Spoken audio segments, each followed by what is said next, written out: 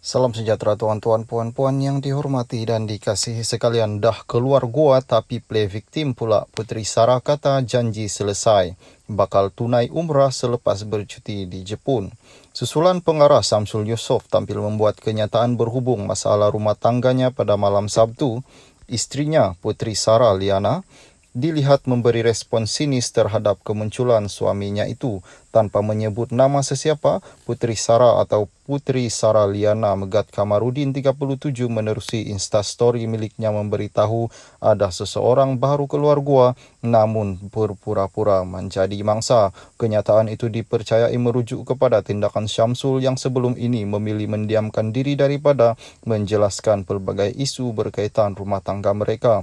Bagaimanapun Puteri Sarah dalam status sama memberitahu meskipun berpura-pura menjadi mangsa namun dia berharap semuanya selesai.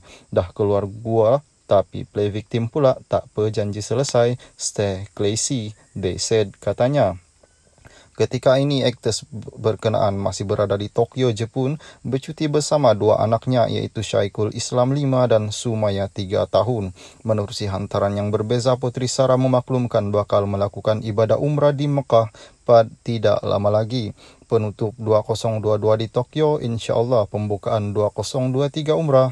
Terima kasih Allah tulisnya di story.